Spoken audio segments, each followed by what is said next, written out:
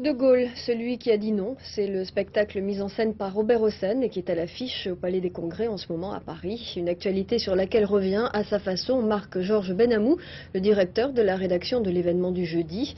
En interrogeant 14 résistants et en recueillant leurs témoignages, il a voulu rendre hommage à leur engagement. Geneviève Moll, Jean-Louis Bousser et Emmanuel Beck.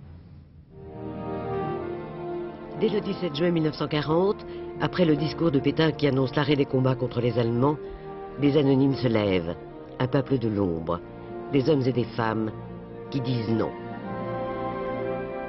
C'est une réaction euh, violente, physique. Et par exemple, Germaine Tillon, 92 ans aujourd'hui, fondatrice du premier très important réseau du Musée de l'Homme, les intellectuels du Musée de l'Homme, c'est le 17 juin.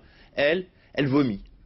Et puis, elle part dans Paris, dans Paris désert, elle va taper aux portes et elle tombe par hasard sur d'autres personnes qui ont envie de faire quelque chose. On ne parlait pas encore de résistance. Et c'est cette résistance dans la solitude de 1940 qui m'a intéressé.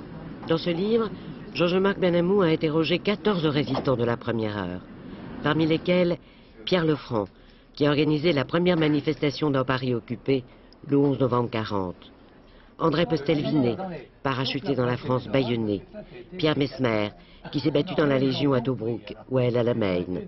Daniel Cordier, engagé à Londres le jour de l'armistice, le 25 juin 40. Quand j'ai été parachuté en France, j'avais 22 ans. Le chef de la résistance, c'est pas moi. C'est l'ombre qui est derrière moi, c'est tout à fait autre chose. Si je suis ici ce soir, c'est parce que j'ai été le secrétaire de Jean Moulin, vous en doutez. Ce qui frappe chez chacun de ces résistants, c'est la modestie naturelle avec laquelle ils racontent leurs exploits.